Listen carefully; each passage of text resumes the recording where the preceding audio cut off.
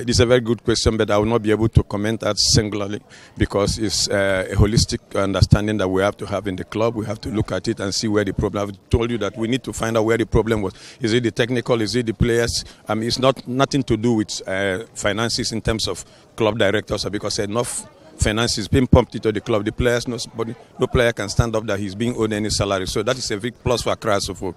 But in terms of uh, playing body and technical, we need to have patience and then wait for the season. Two more games to go. Let's see how it goes. Um, like I said earlier, it's not going to improve anything in the league standing because uh, we're now battling for top four not even the league title because the league title technically between me and you we can agree six more points together. I don't know what the six points, assuming we win the, win the two, next two matches. I don't know what that will do in, in, terms of standing.